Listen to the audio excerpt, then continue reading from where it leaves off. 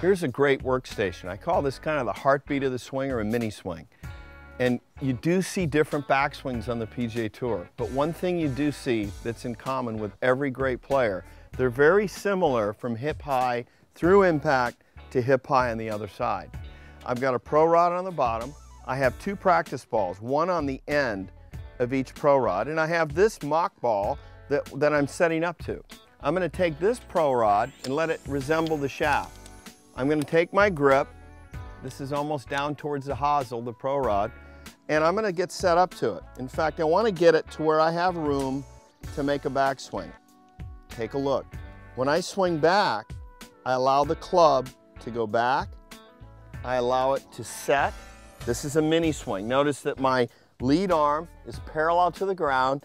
Notice that the pro rod is pointing to the back ball.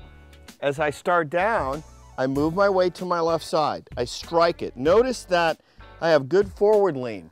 And what that means is the rod is in front of my body. The club face is square. I extend forward.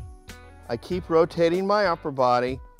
I go here, I extend, look at the arms are long, and then I recock into this position here, and you'll notice that the rod is pointing to the forward ball.